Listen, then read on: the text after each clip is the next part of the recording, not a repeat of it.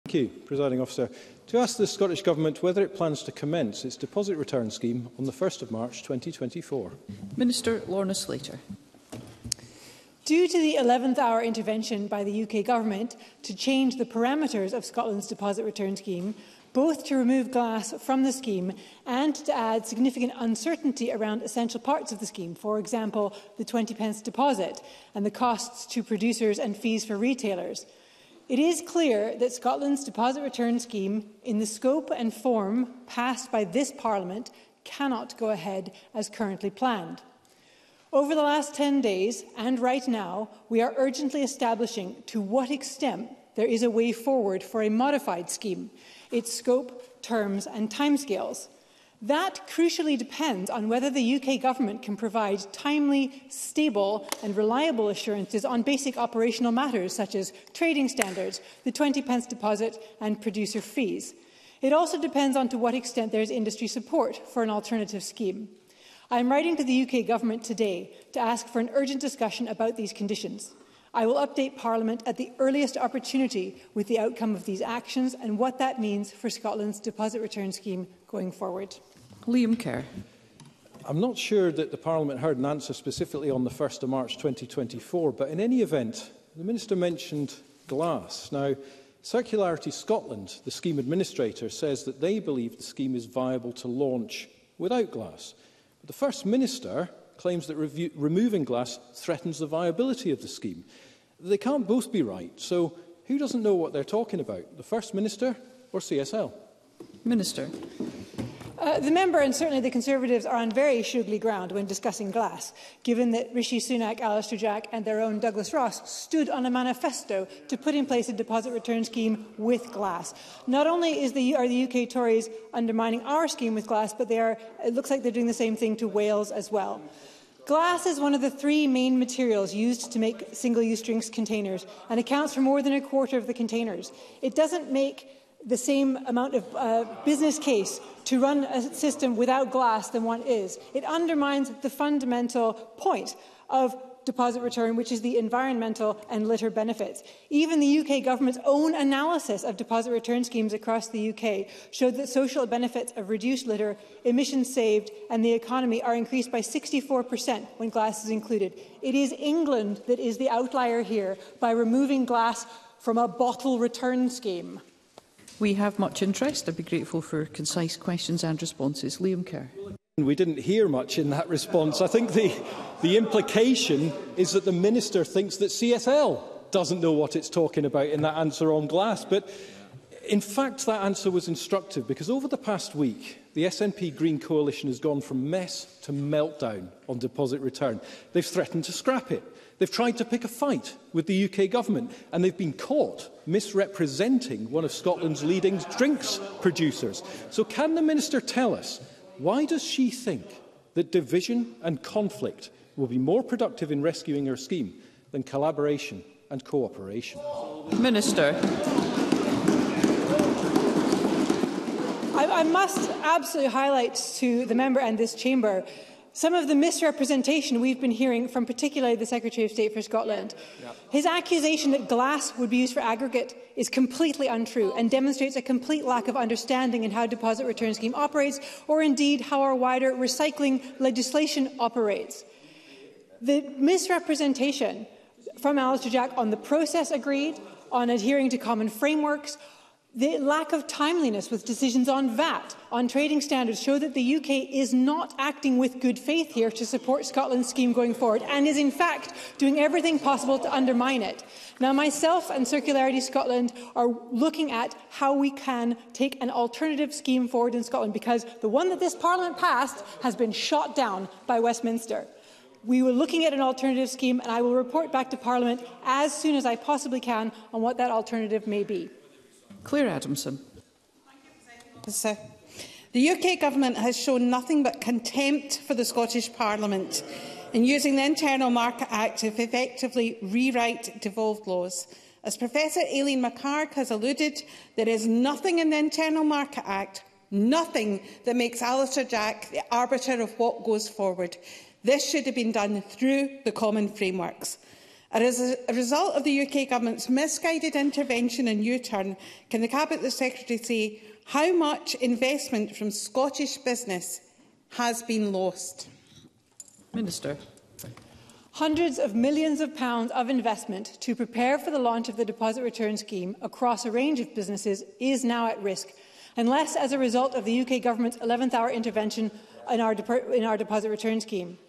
The exact figures on investment are held by industry themselves, but published estimates suggest that retailers will invest up to 200 million pounds and producers have invested around 100 million pounds for the scheme. Alongside this, contractors to Circularity Scotland, such as BIFA, will have invested significant funds, with some estimating this at around 80 million. pounds. Mercedes Vialba. Uh, the Minister will be aware that Sight Scotland has concerns on how blind and partially sighted people will be able to access and take part in the deposit return scheme. Just last week, Sight Scotland received a letter from the Minister's officials, but that failed to address the issues that they raised. So will the Minister take the concerns of Sight Scotland and others seriously and use the delay to the deposit return scheme to ensure that blind and partially sighted people are able to take part in the scheme? Minister. I thank the member very much for that question. Of course, any deposit return scheme must be accessible to every single person in Scotland, and that's true no matter whether they have disabilities or other impediments uh, to make that more of a challenge. So in terms of particularly for non-sighted people or people with difficulty with sight, the design of reverse vending machines absolutely is intended to take that into account, and the intention as a, if a scheme is, is to go forward, is to work with retailers and handlers to understand how they can best support customers who are using a manual return point. I, I can refer the member to the equalities assessment that was undertaken as part of the uh, deposit return scheme legislation. Maurice Golden. Thank you, President Officer. Both the Minister and the First Minister have wreaked havoc on the deposit return scheme. So can the Minister tell us today when the missing gateway review will be published. Minister. Uh, the, the, here we go. Sorry. The, there have been a series of independent gateway reviews undertaken throughout the design of the deposit return scheme, with the most recent carried out in March. The Scottish Government is considering carefully the recommendations from this review and will share these and its response with the Net Zero Energy and Transport Committee soon. Gateway review teams normally speak to between 12 and 15 interviewees. For this latest review, reviewers spoke to 45 people, which included CSL, a range of producers, retailers, wholesalers and hospitality representatives. Liam MacArthur. This is a shambles that's been years in the making. All last week and over the weekend, we heard threats from the Scottish Government that if the UK Government didn't back down, then DRS uh, would be dead in the water. The Scottish Government appears now to have backed down. So does the Minister believe this will add to the confusion and add to the loss of confidence in the proposals the Government are trying to bring forward? Minister. The member will appreciate that the UK Government has now blocked the scheme as passed by this Parliament. The devolved powers of this Parliament were used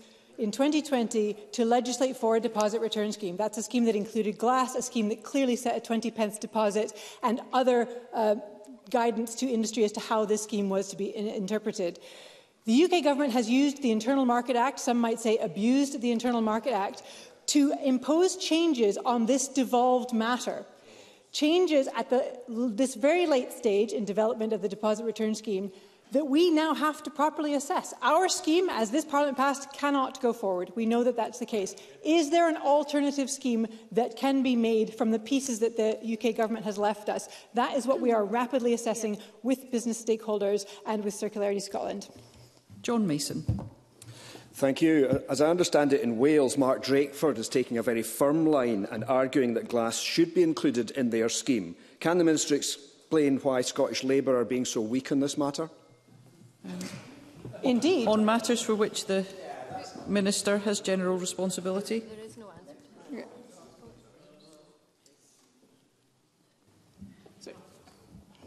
Minister, you can address the question to the extent where you, that you address matters for which the Scottish Government has general responsibility. Thank you, Presiding Officer.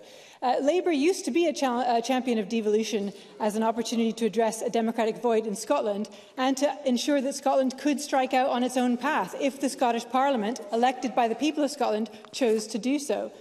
It is exactly what Labour in Wales are doing by designing their own DRS to include glass, because they too understand the environmental and economic benefits of doing so. Wales are at an earlier stage than we are in deposit return. They haven't yet passed their regulations. And once it comes to drafting their regs and doing the detailed design, Wales will very likely face the same barriers that we are now dealing with. Brian Whittle. Uh, thank you, Presiding Officer. Can I ask what would the impact would be on glass recycling, including non-scheme articles, of rolling out separate curbside glass collection to those councils which currently do not have this service? Minister.